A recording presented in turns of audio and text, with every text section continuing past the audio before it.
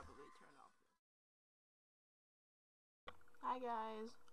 So, yesterday I had um back two teeth pulled out. It was a wisdom tooth and the one before that.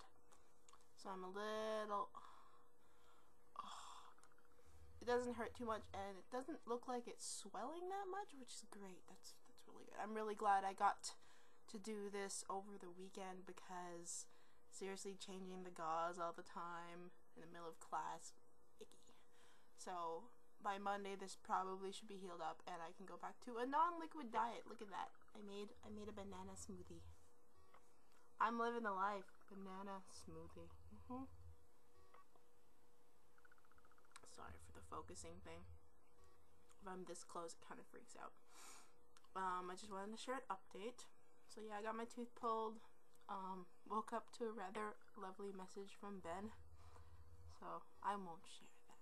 That's just for me. And uh, yeah, I'm gonna I'm gonna go continue with my day. Staying in. It's a bone chilling minus 25 today in Edmonton. No snow, but cloudy. And yeah, minus 25. I'm not leaving. I probably will have to because I have to go pick up my antibiotics for my tooth. So I'll just do it later.